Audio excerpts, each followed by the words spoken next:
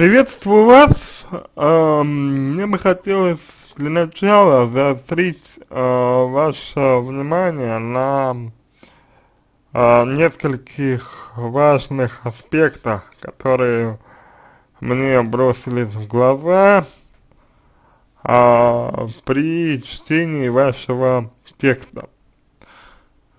Первое. Это неуверенность в себе а, собственно, вот вы ненормальная, пишете вы, значит, обидели вас, э, не считают вас вашим мнением, не уважают вас и так далее, плюс э, поплакали вы из-за соцсетей, из-за истории с соцсетями.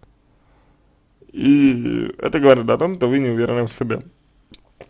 А, неуверенность в себе проявляется в том, что вы ревнуете, а, ну, испытываете ревность, а, вы как-то, а, ну, делаете акцент на том, что вы не докатываете истерик, что вы ведете себя, ну, как бы демократично, да, я так, наверное, думаю, можно это назвать.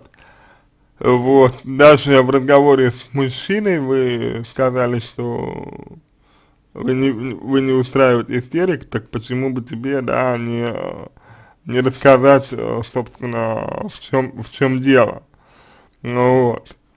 А, такое ощущение у меня возникло, что вы не воспринимаете тот, тот факт, что вы не закатываете истерик, как э, само собой разумеющееся. То есть ощущение, что вы хотите закатить истерики, хотите устроить какую-то сцену.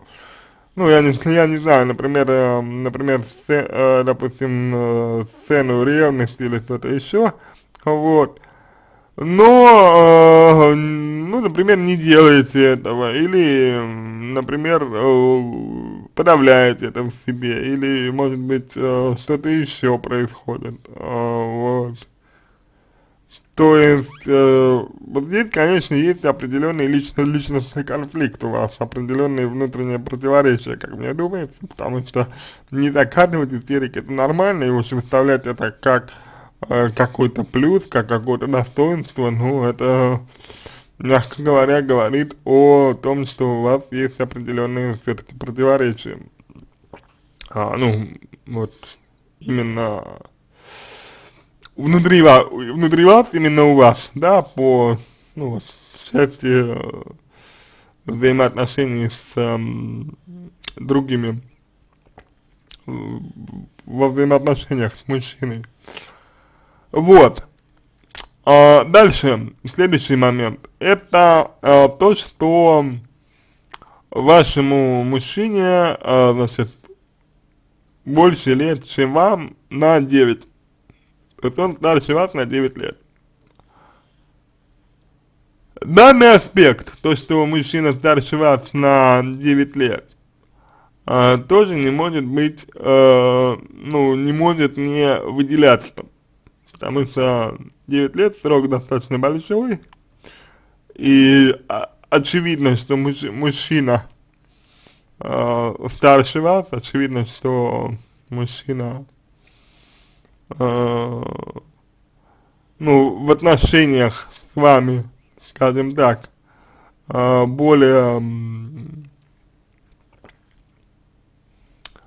авторитарен, можно так выразиться, то есть он, он э, считает, что его мнение является, значит, ну, может быть, приоритетным, может быть, он считает, что э, вправе, вправе завершать разговор, когда хочет, э, закрывать э, тему, когда хочет, да, и так далее, вот. А, то есть ситуация здесь вот такая, что вы выбираете, выбрали себе такого мужчину, который, в общем-то, не ведет себя с вами а, так, как будто на равных вы с ним. И здесь у меня вопрос, с чем это связано? То связано ли это с тем, например, что у вас э, было что-то во взаимоотношениях с отцом, такое, что обусловило, э, значит, возможность такого рода отношений, неравноправных отношений, надо сказать. Вот. Либо опыт какой-то был, разочарования какие-то были. Ну, это тоже возможно, но вообще, как правило, взаимо взаимоотношения с отцом определя определяют э, то, как вы э, выстраиваете э, контакт с э, мужчинами. Вот. То здесь э, тоже нужно на это обратить, обратить внимание, чем обусловлен выбор. выбор. Да, то есть даже не столько обратить внимание, сколько, может быть, проанализировать ваши отношения с родителями, а, дабы убрать какие-то определенные аспекты негативные, которые могут там быть. Дальше. Э, значит, так, вы пишете, э, бывают мелкие разногласия, не без этого, но крупных ссор с истериками, обидами и длительным молчанием не было ни разу. Какая мысль э, вот э, привела вас к такой формулировке вопроса? какая мысль привела вас к тому, чтобы так написать, чтобы так сказать, чтобы так донести свою мысль? Значит, где-то истерики были, где-то длительное молчание было, было где-то обиды были. Вопрос в том, где вы с этим знакомы не понаслышке. Где это было? У вас то, что было, я практически, практически не сомневаюсь. То, то, что это было. Где было, нужно разбираться. Какой опыт вы из этого вынесли, ну, я думаю, в общем, в общем, тоже, тоже нужно, нужно разбираться. Какой опыт вы вынесли из эм, вот этого вот, ну, из э, такого рода отношений. Вот. То есть э, здесь вот очень важно выяснить, выяснить этот аспект, потому что вполне может быть, что если э, в детстве ваши личные границы, например, не уважали, да, ну, такое, в общем, вполне может быть, ну, ну, не уважали ваши личные границы, например, вот те же родители, допустим, да, или вы видели, как они э, не уважают свои, э, свои личные границы, да, личные границы друг друга, и э, вы достаточно интеллектуально развиты, чтобы понимать, что это нехорошо, и достаточно э, волевой вы человек, чтобы э, сдерживать себя. Но энергия, которая, ну, вот, э, скажем, скажем, может быть, даже не энергия, а э, потребности, желания, может быть, э, какие-то привычные для вас э, эмоции, привычные слова, они все равно остаются. Вот. Они все равно остаются, они все равно приходят вам в э, сознание. Это, знаете, как вот э, по аналогии, да, с э, вот есть в психологии такое понятие, как э, большой свин, да, это такой э, подстрекающий родитель, вот, который как бы говорит, ну давай, давай, давай, вот давай, там, что-то сделай, там, скажи что-то обидное, что-то такое не очень хорошее, ну давай, давай, вот. Это есть у вашего мужчины, да, потому что он, по сути, это делал, э, конфликт никак, никак не разрешил, да, то есть он, ну, просто сказал, что там хватило того раза, там что-то еще такое, вот он, он вам э, сказал, это все большой свин, Это все подстрекающий родитель такой вот, который вроде бы говорит, что делать, да, но в то же время он, в общем, не хочет, чтобы, э, ну, чтобы, чтобы хорошо было э, ребенку. Вот. Ему это неинтересно. Вот. Ну, сам-то сам подстрекающий родитель, он э, просто свои желания ре реализует по сути дела. Вот. То есть здесь, я надеюсь, понятно, о чем идет речь. Дальше, значит, на, на днях я зашла в одну из соцсетей. Зачем, если не особо ими пользуетесь? В рекомендуемых друзьях мне выдали его страница у него закрыта, я запросила дружбу. Зачем, если вы соцсетями не пользуетесь? Сегодня пришло оповещение, что он отклонил мое предложение дружить. Ну, в общем-то, опять же, э, как вы восприняли этот факт? Вот вы говорите, что мужчина поссорился с вами из-за соцсетей, возможно. Но вы тоже поссорились, поссорились с ними из-за соцсетей. Ну, не прислал вам приглашение, друзья. Может быть, потому, потому что знал, что вы соцсетями не особо-то и пользуетесь. И не, не хотел, и не, и не хочет он а, с вами а, общаться в этих, в этих самых соцсетях, а предпочитает общаться в, ре, в реальной жизни, например. То есть, э, почему, если вы, а, вот если вы сами э, соцсетями не пользуетесь, для вас так болезненно оказалось, что он отклонил от дру вашу дружбу. И, и вы, или вы э, серьезно думали, что если у человека закрытая страница, да, но она у него есть, страница есть у вас, то он не прислал вам дружбу раньше, э, просто вот потому что забыл, я полагаю, что это наивно. А, здесь, соответственно, идет а, провокация. Ну, с вашей, с вашей стороны. То есть, а, давайте расставим все точки над «и». А, что такое провокация? Да? А, с одной стороны, может быть, вам, а, ну, в силу косвенных признаков, в силу косвенных причин. А, вполне возможно, что вам, а, может быть, значит, а, не хватает эмоций. Ну, просто эмоций не хватает. То есть не хватает ссор, не хватает там выяснения отношений. Вот.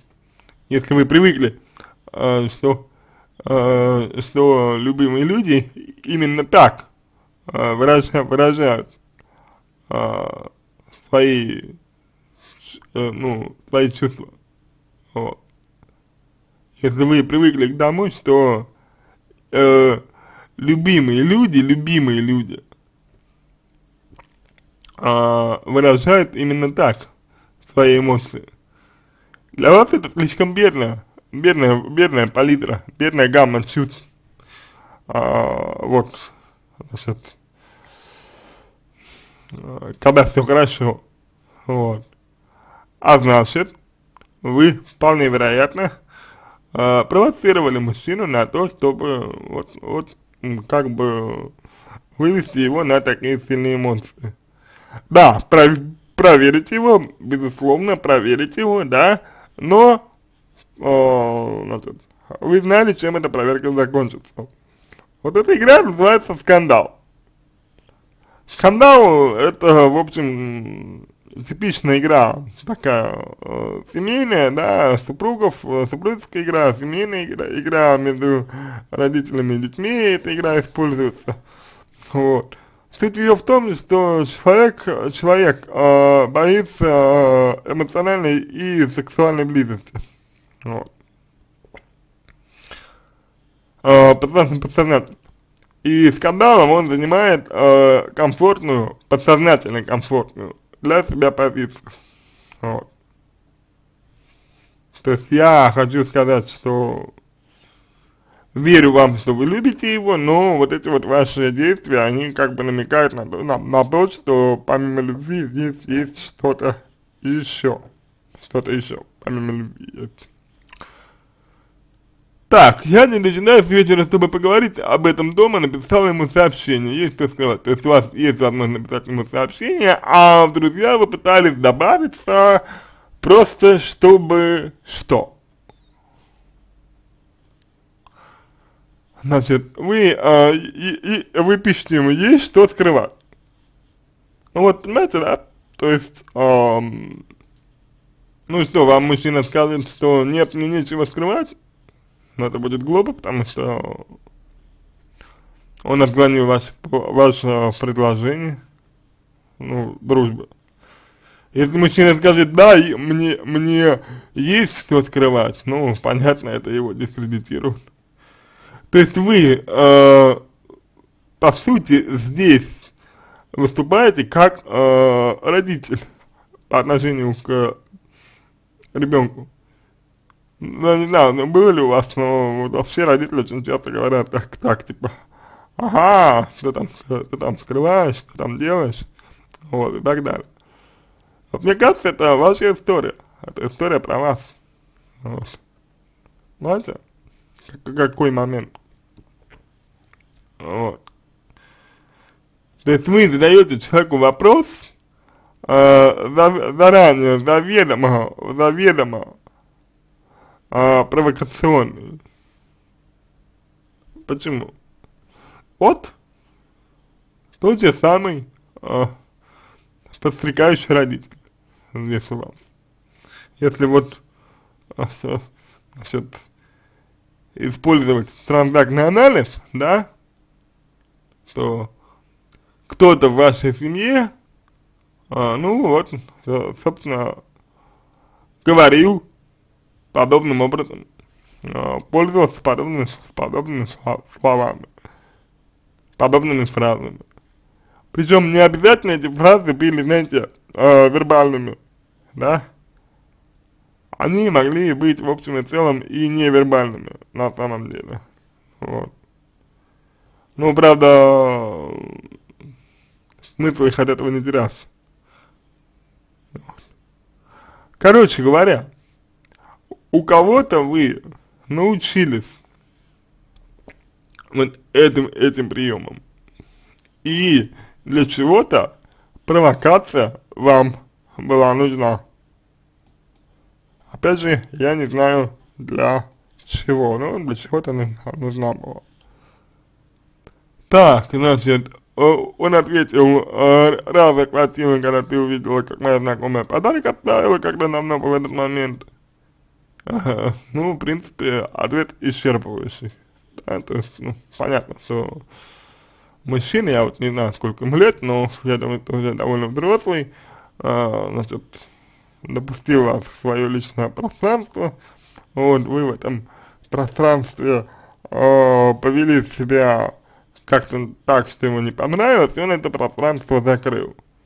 Ну, в принципе, логично, в принципе, логично. Да, неприятно, но логично. Вот.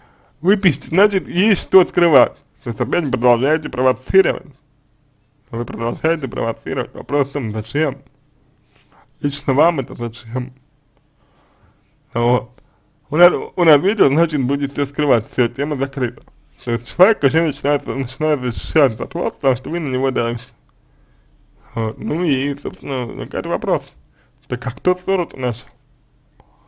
Кто неадекватно себя, себя повел тогда, когда ему прислали подарок? Как вы потом решили этот вопрос друг другом? Объяснили ли вы свое поведение?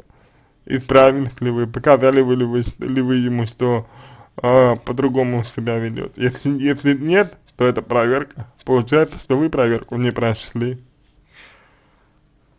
Так, я ему написал, что мне просто-напросто это неприятно. А вот то, что вам неприятно, то, что вам неприятно, это уже лично, лично ваша реакция. Формально мужчина, мужчина ничего, ничего плохого вам не сделал. То есть, если вы уверены в себе, вас это никак не задевает. Если вас это задевает, значит вы не уверены в себе. Значит, проблемы, проблемы у вас, между вами, точнее, между вами, вашей парой есть. Кроме того, прошу заметить, что мужчина вам не муж, а вы ему не жена, и, в общем-то, пока вам не было сделано предложение, я полагаю, что вы, в общем-то, и претендовать на роль э, единственной женщины, то есть жены, в общем-то, не, не можете. То есть, как бы, да, вы вместе живете, да, э, вы у него одна, но это добровольное решение, именно добровольное решение вашего мужчины. А у меня складывается такое ощущение, что вы и этого тоже не совсем осознаете. Вот. То есть э, здесь, э, знаете, э, я не оправдываю мужчину, да, здесь, э, думается мне, что можно было э, повести себя по-другому, но вы, вы, очевидно, э, свои какие-то переживания, свои какие-то э, чувства, свои эмоции вы просто-напросто э, перенесли на вашего мужчину, вот, и, собственно, а потом вы ему за это предъявили, вот. Это называется скандал. Ну, понятно, что в основе этого, этого лежит ревность, но тем, тем не менее. Вот вы пишете, что я и так никогда ему не закатываю истерик по поводу и без него. То есть вы этим хвалитесь, как будто бы. Об этом я говорил.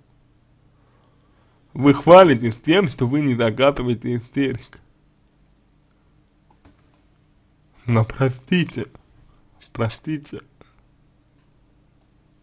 а вы, вы должны зака зак закатывать истерики? Или что? Еще раз повторю вопрос, который я задавал. Как вам пришла в голову мысль поставить, э, поставить именно такой аргумент, что я и так не устраиваю тебе истерик по поводу и без. А что хочется? Хочется устроить истерику? Ну, получается так, что хочется. Получается, что хочется устроить истерику, раз вы об этом говорите. Причем говорите в одном тексте, да, э, не первый раз уже. Дальше, после таких выходок, э, просто, просто делаю вы, выводы. А какие выходки? Ну, бога ради. Какие выходки? Ну, не принял мужчина э, ваше приглашение в дружбе в соцсетях. Потому что вы раньше э, его как-то, значит, э, ну, не обидели, но заставили стыдиться. И, видимо, до конца эту ситуацию вы с ним не проработали. Ну так, если вы извинялись перед ним, если вы говорили, что были неправы, так нужно было показать, что вы изменились, а вы не изменились. И вы думаете, что мужчина после, после этого э, захочет добавлять вас, вас в друзья или будет вам больше доверять. Поплакала, из-за чего на душе остался неприятный осадок. Какой? А, бывали моменты, когда я, когда я видел его переписку с женщиной, с, которым он долго, с которой он долго до меня встречался, но там она была инициатором диалога, он отвечал просто, чтобы поддержать диалог. Ну, мужчина вежливый. То есть, как бы, конечно, в теории можно предположить, что если он с женщиной встречался, если он откровенно видит, что она пытается его вернуть и не ведет себя с ним как друг, то можно было бы отношения с ней завершить. Но это выбор человека. Если вы любите его действительно, то вы его выбор принимаете. Кстати, любовь это принятие. Вот что-то как-то э, я не увидел э, в вашем поведении, да, принятие человека. вот не увидел, понимаете? Я поначалу предъявил ему претензии, но он тут же дал мне почитать переписку. То есть, знаете, вот,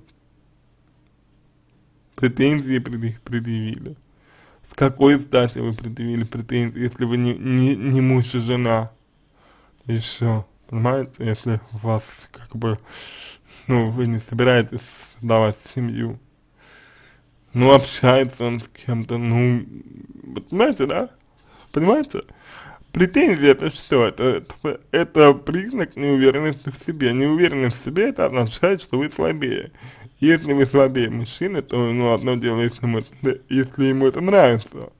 А если нет, вы пишете в изменах или в попытках никогда замечен не был. Фу-фу-фу. Вот фу-фу-фу-фу, это то, что вы боитесь измен. Здесь еще один важный аспект. Вы боитесь одиночества, возможно, вы боитесь остаться одна, возможно, вы боитесь быть брошена, а это э, следствие непринятия себя. Вот. Откуда, опять же, у вас эта мысль, что в изменах он замечен не был? Понимаете, он изменить вам пока не может. Потому что вы не муж и жена, опять же. О какой измене может быть речь? Понимаете? Аноним. Вот сижу и думаю, а, я ненормальный и накрутила себе что-то, чего нет. Или он действительно что-то скрывает от меня, не знаю, как вообще эту ситуацию назвать. Ну, я сказал, как эту ситуацию назвать. А, вы не, вы нет, вы нормальные, а просто у вас есть определенные э, незавершенные дела, возможно, с родителями, возможно, с предыдущими мужчинами, у вас есть определенные внутренние противоречия, и вот они дают о себе знать. Просто-напросто незавершенные какие-то дела прошлого, как, как говорится в психологии. Вот. Ли назвать это ненормальностью? Нет, э, почти у всех людей это есть, просто у кого-то это больше, у кого-то меньше. Вот у вас, например, э, больше, соответственно, это влияет на то, что вы делаете. Я понимаю, что у каждого человека, пишите вы, должно быть что-то, чего не хочется э, никому рассказывать, и чтобы кто-то знал. Ну, здесь, особенно с учетом того, что вы пишете далее, это просто интеллектуализация, то есть защитный механизм. Вы пишете, не думаю, что для взрослого мужчины социальные сети станут причиной ссоры со мной. Нет, нет. Это для вас социальные сети стали, стали причиной ссоры с мужчиной. Не для него, не он инициатор ссоры. Не он провоцировал вас. Первый на, начал. Не он понимаете? Поэтому здесь вы рационализируете и проецируете на, на, на, на мужчину свои переживания. Защитная реакция. За этим просто стоит страх, элементарный страх, что у мужчины есть кто-то лучше вас, что вообще есть кто-то лучше вас. И, возможно, страх, страх одиночества и э, опасения быть брошенной. Вот и все. Либо он просто пошел на принцип, зная, как я могу отреагировать. Ну, если это не первый раз, то вполне возможно, что мужчина уже болезненно, болезненно реагирует на то, что вы нарушаете его личное пространство. Мужчина, я, я имею в виду. Вы пишете, я ругаться из-за этого не хочу. Ну, понимаете как, вы это можете не хотите ругаться, но пока у вас будут вот эти вот страхи, опасения, негативные, негативные эмоции, то это будет. А, мне человек очень дорог, чем я люблю его, как. Вот говорю, по вашему письму, как-то не похоже, что вы его любили, потому что вы не принимаете его выбор, э, значит, вы не принимаете его выбор э, в том, что он не хочет э, добавлять вас друзья в соцсеть, вы не принимаете его выбор в том, что он эм, сделал выводы после того, как вы повели себя неадекватно, э, когда увидели подарок. Вы не принимаете его выбор в том, что он общается с женщиной, с женщиной, с которой встречался задолго до вас. Вот. Ну, как- как-то, вот, знаете, э, интересная любовь получается. Нет, может быть, вы и любите а, его, конечно. А, но я полагаю, что помимо любви здесь есть еще какие-то примеси. Вот, просто так эту ситуацию тоже не хочу отпускать. А чего хотите? У вас есть противоречие, если вы э, действительно считаете, что вы можете себя накрутить, то вам эта ситуация нужна, потому что у вас выбора нет, потому что не будете ее, ее отпускать, будет только хуже. А если вы уже решили для себя, что мужчина обманывает вас, то к чему тогда все это, весь текст? Ну, решили вы, что он обманывает вас, ну, это ваш выбор, действуйте исходя из этого, только и последствия, соответственно, будут такими же. Меня обидели, мне неприятна эта выходка с его стороны. Ну, обида это, это чисто ваша реакция, как и то, что не вам не, неприятно. Никакой выходки с его стороны нет. Это обычно нормальное поведение взрослого, взрослого, э, взрослого человека, который защищает свои личные границы. что вы сами, в принципе, сказали. Вот. А, неуважение ли это? Опять же, это выбор мужчины. Знаете, это выбор мужчины, обусловленный тем, что было между вами ранее. Все зависит от того, как вы пережили а, значит, значит а, ну, вот, а, с ним тот аспект, вот. А, как вы пережили с ним этот аспект, когда вы нарушили его личное, личное пространство? Договорились ли вы, не договорились ли вы с ним о чем-то, пришли вы к какому-то решению, не пришли вы к какому-то решению, понимаете? Вот. Если пришли, он ведет себя так, это неуважение, если не пришли, он ведет себя так, это нормально. Обижаться не, не, не торопитесь, обида это ваше ожидание, это ваше желание, на, на, э, ответственность за которые вы возлагаете на, на, на мужчину. Вот.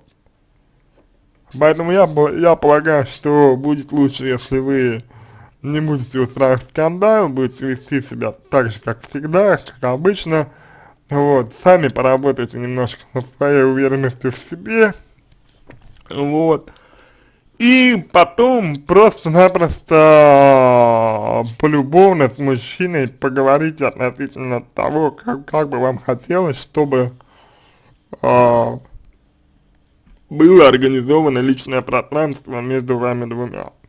Вот. Соответственно, послушайте то, что э, скажет вам ваш э, партнер, и уже исходя из этого, будете думать, что делать дальше. А сейчас вы ведете себя как ребенок, который обиделся по пустяку, обиделся на то, что по сути он же сам и спровоцировал.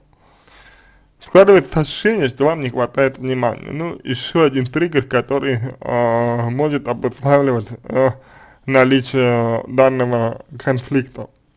Вот. Ну и в конце концов, не забывайте, что это всего лишь соцсеть, э, э, виртуальность, и портить из-за этого ре, реальные отношения. Можно, конечно, но, но вот то ли это, что вы хотите, и то ли это, что заслуж, заслуживает человек, которого вы любите, и является ли ваша реакция проявлением этой самой любви, большой вопрос. На этом все. Я надеюсь, что помог вам. Если у вас остались вопросы, пишите в личку, буду рад помочь. Если вам понравился мой ответ, буду благодарен, если сделаете его лучшим. Я желаю вам всего самого доброго и удачи.